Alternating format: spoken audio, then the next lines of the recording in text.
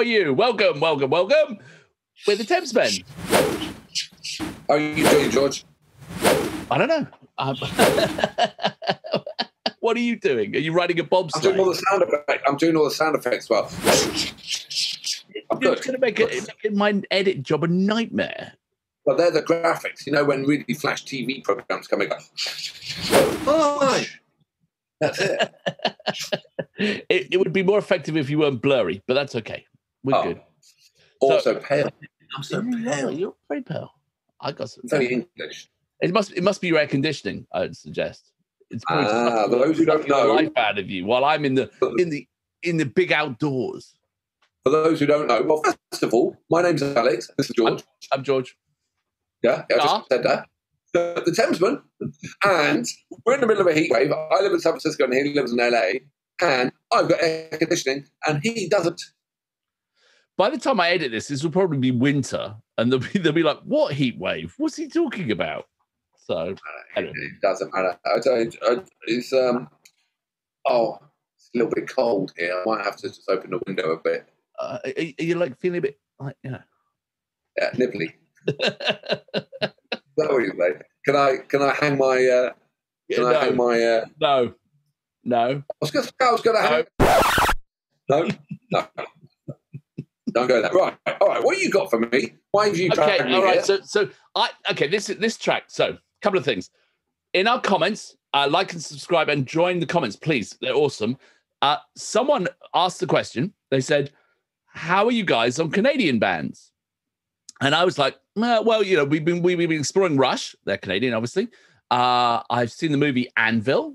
Uh, and loved that. It was an awesome film, really fun and really lovely. Um, and then um, then I, then they recommended a band called Triumph, which we haven't got to yet. But then I just suddenly realized that when we started this whole Thamesmen thing, I'd pulled up a track which I really like, and so this is this is like me just playing something I really like. You're probably going to be Oh. rude about it afterwards, and you'll probably say something like, Oh, "That's no. what gonna give or you know, or Uh, no, oh no! Oh no! Has anyone asked? Has no one's asked for asked this. It's, this Oh, is me. This is a Canadian band. This is me showing by Oh, chance I happen to know another Canadian band. for those who don't know, my colleague here actually has dreadful taste in music. So you do. So, I just, so, I'm just slightly started unlucky. this, I'm unlucky about picking versions. not the version. I do think Judy Collins did a good version. We haven't done Judy Collins yet, have You we? wanted to. Okay, You I picked, to. I picked the worst Gary Moore track ever. I accept that, but there are good Gary Moore tracks, aren't there? We have said he's done some amazing stuff. So it's not that I have bad taste. Gary Moore is good. It's that I picked a terrible version. Remember when we didn't have subscribers and we, you know, they weren't subscribing and they weren't telling us what to watch, hmm and we had free rein. Do you remember those days? I do, yes. Do you remember Mason? Do you remember Mason Jennings? Who still has 19 views. But anyone out there, if you could watch Mason Jennings and just like and subscribe to that one, please, just because it annoys Alex intensely and it makes me happy. Don't encourage him. It's a great song, Mason. You said I, I'm going to play back a clip of you going how good Mason I- Jennings was. I I'll- didn't I'll know any. I'll drop it in here. I'm going to drop it in right here. How good you said Mason Jennings was.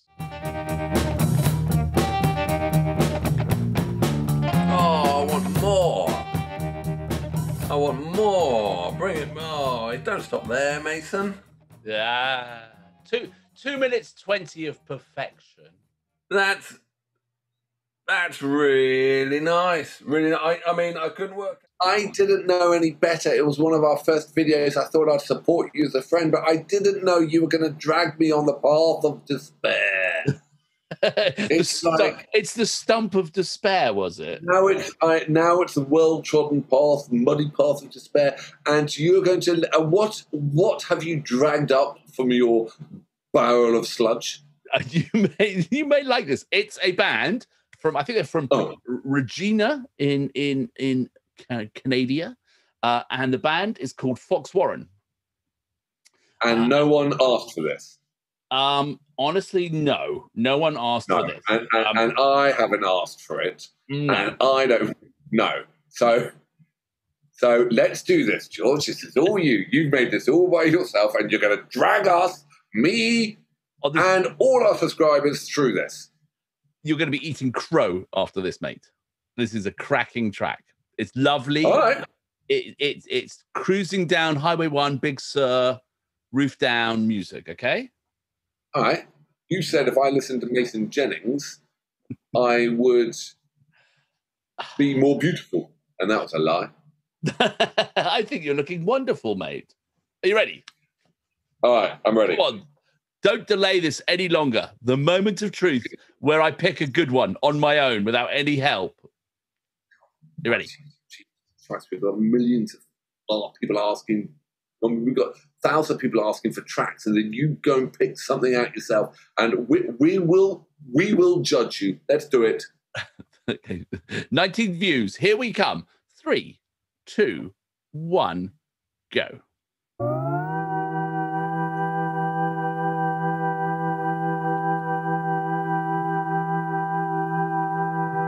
Great.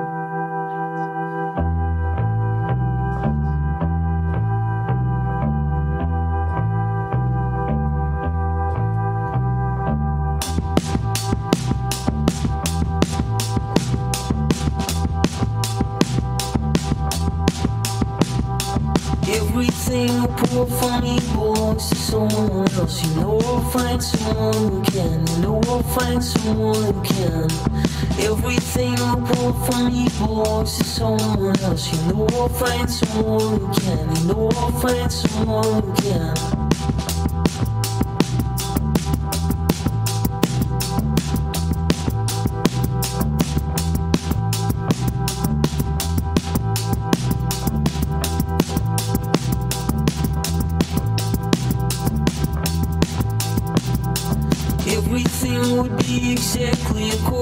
To plan. If I could find someone who can If I could find someone who can Everything would be exactly according to plan. If I could find someone who can If I could find someone who can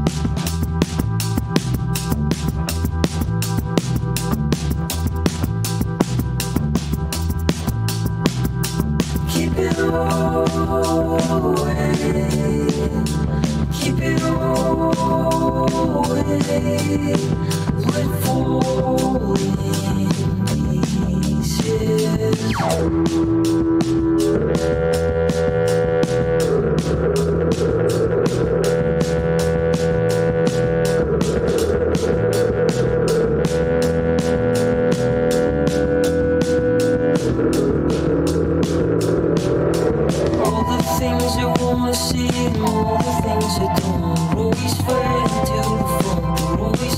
The front. All the things I wanna and all the things I don't always fading to the front. Always fading to the front. Keep it away. Keep it away. Fall in pieces.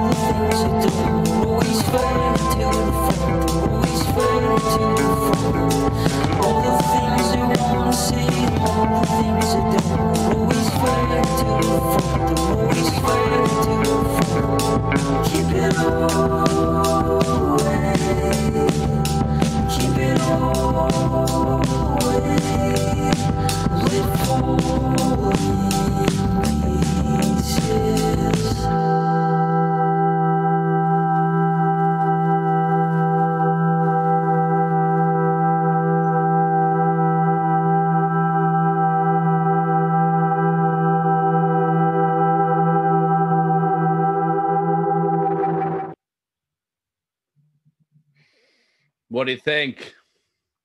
What do you think? Wasn't terrible, was it? That is a really good track. That's lovely, isn't it? It's like it's not. It's not like it's just gentle and lovely and I don't know. It's just You're a simple feel to it. You're a simple soul, aren't you? I'm a simple soul. There's simple things I like, and I like that. It, it was good. It was um, it was like ELO meets magnetic fields. It's like I love that. I love that harmony. I love the vocal being so upfront and it's very melodic, and underneath you had all the indie kind of, you know, and you know, it felt like a really kind of early Canadian drum and bass. You wanted it to go into drum and bass, but it was really nice. It was a good track. I was like, you see, oh, now, now the weird thing is because when I wanted to find this, um, we listened to the studio version of it. They have a video which goes with it, and the video for me actually ruins it. It's like this weird little storyline with these people who've got a bomb and they're going to blow something up, and and then at the last minute, someone, one of the bad guys, relents and saves the bomb from blowing up a what, mother and a kid and blows up himself, sort of thing. And it's like Well, easy. it doesn't match the feel of it.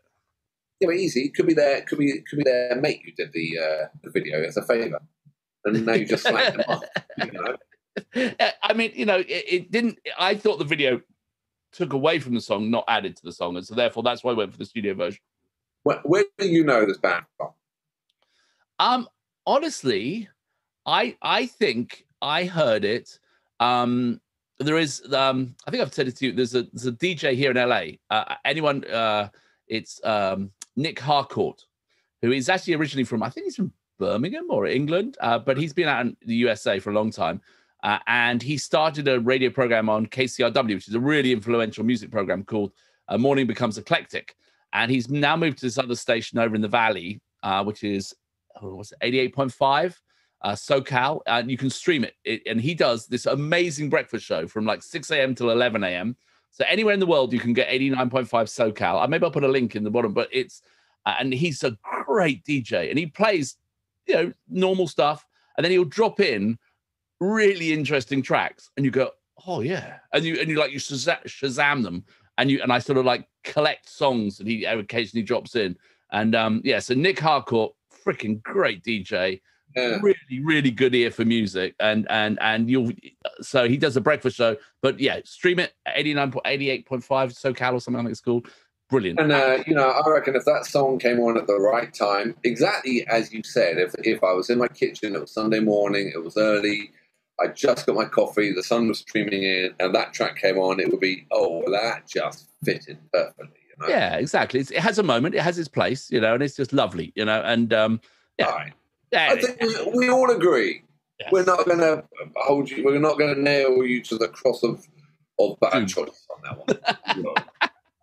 There is a cross of bad choice, and you are heading towards it. is that is that is the, is the cross of bad choice next to the stump of despair Yes, the stomach of despair is at the bottom of the of bad Cross.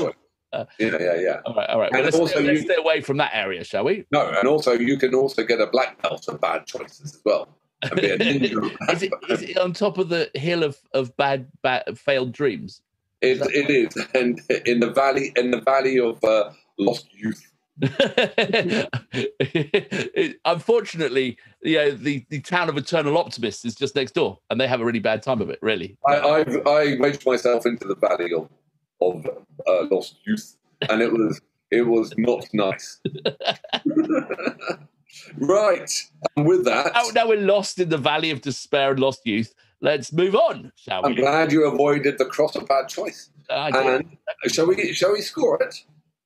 Well, why not, sir? You choose right. first. What do you think it is? Banger, wanger or banger? Yeah, it's you know it's a it's a chipolata. It's a chipolata. You know, everyone everyone likes a chipolata, but you're I- not you're, you know you're not going to get stuffed on it. I think it's I think it's a Dodger dog, the king of hot dogs from an LA perspective. You know, so, Yeah, but you know what? Uh, you know what? That, well, actually, yeah, meaning that you don't know what's in a hot dog. Well, you know, you know, it's lips and assholes, don't you? That's pretty much it.